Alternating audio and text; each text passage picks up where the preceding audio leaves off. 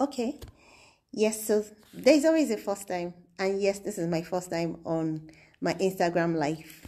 And I'm so happy. Okay, I was um going through um, um the Lord laid it on my heart to just to do this today.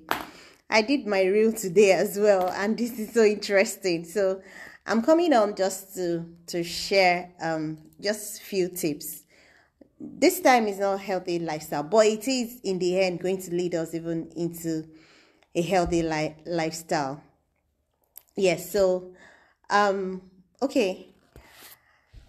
I was reading Habakkuk now. I don't know how many of us um follow this YouVersion apps.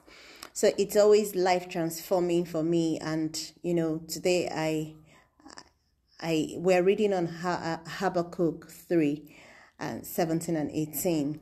So yesterday some things happened to me and you know when, when you think that you have put so much effort in a lot of things, you know, I, I, I sat there since 8 a.m. in the morning.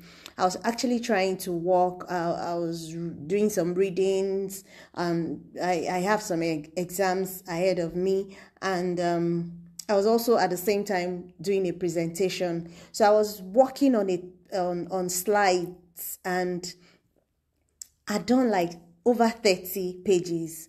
So I just um called on my husband to look at some things for me. And before I knew what was up, the whole thing had been deleted. Wow, at that point in time, just imagine that was some eight hours work. And for me at that point, a lot of adrenaline gushed all over me. And for me, it was a moment of what do I do? I was even trying to stay calm. You know, that thing that we preach many times is always easier said than done. When it comes to action, sometimes it takes a whole lot. So this morning, as I was reading Habakkuk 3:17, it was telling me that though though some natural things, natural things that are meant to happen might not even happen. Hey, you know, when I got to that part, hey, in my mind, I was like, okay he said, fig trees may not grow fig, figs. How, how even possible is that? But it, it, it might get to a time in life that, oh, yes, I've put in a lot of effort. Oh, I've done this. And it's bound to just happen. Guess what? Sometimes it might not happen. He says, there may not be grapes in the vine. Uh-uh.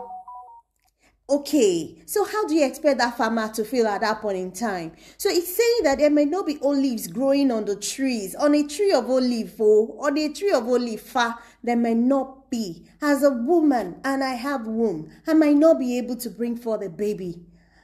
You know, so many things. Oh, yes, I've, I've, I've read books, I have BSc, I have MSc, and yet I'm not able to seemingly be productive. Oh, yes, those are the moments where the olives are not bringing forth grapes. And guess what?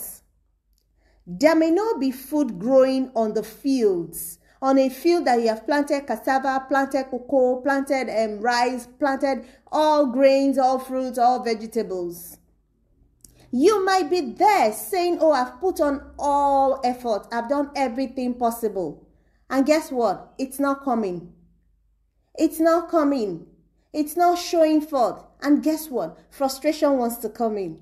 Yes, you have you have done your presentation, 37 pages of your uh, presentation. Yes, yes. And then something happens and everything got deleted. Wow.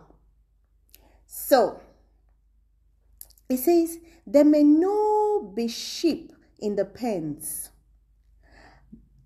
There may no be cattle in the barn.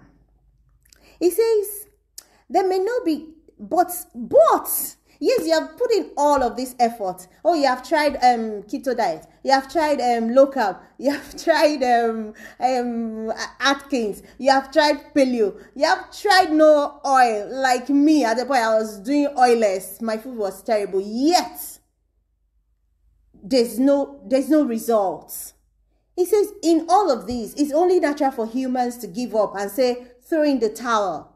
But guess what he says in verse 18, Habakkuk 3 17 and 18 that despite all of these odds, he says, But I will be glad in the Lord. I will rejoice in the God of my. What a counter intuitiveness. Very, very counter. Like, when it comes to some people naturally that when things are not going right you just see them um, containing their, their emotions it's not for everybody, but guess what? We can do it. The further, if you read further, it says, Because it's God that gives me my strength. It's yours, but it's given on God. So, my message today, let me quickly go because I, I, I see people joining me. Yay! Yay! okay, so when we totally trust God, it takes over. Initially, it will be like, Oh, I can't do this. I can't do this. So yesterday I really, really went off balance when all my presentations just went off, deleted totally. I was using Canva. I tried, I went online to try to retrieve it. But guess what? I didn't really manage the situation perfectly well. I admit. I was I was not I was I was just like don't don't just don't apologize. Don't tell me anything. Just let me be. Just let me be. Just let me be. I want he said just he told me he said go and sit down and relax. I said no, no no no no. I have to do, you know it wasn't funny for me at all. But I later when I sat down, I still did the the the work that took me 8 hours. I did it in less than 2 hours when I later sat down to think about it. And that is the point of us still rejoicing, no matter what we're going through. So we see people, we see people lose things and they're still calm. I can't get over my head. There was a plane crash that happened years ago.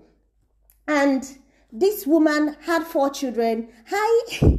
Hi. And and she had four children and they all died. And by the time I saw her talking, it was as if nothing happened. We've seen other cases of people. It says, But yet I will rejoice. He says, But I will be glad in the Lord. I will rejoice in him.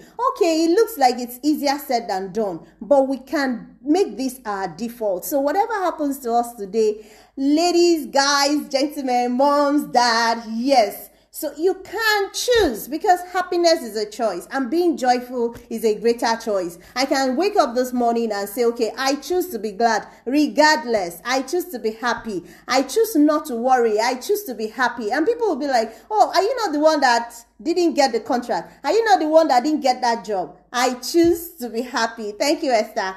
Thank you so much. So that's for you. In case you have not done life, this is me doing my live on Instagram. I've been doing live on my Facebook group, but this is me doing my live on Instagram. Please, so you can do it and tag me. I love you. Thank you, everyone. Bye bye. Stay blessed. Remain blessed as mothers. So it's still the Mother's Week. Happy Mother's Day. Happy Mother's Week. Enjoy. Treat yourself. I love you. Stay glad. Be glad. God bless us all. Bye.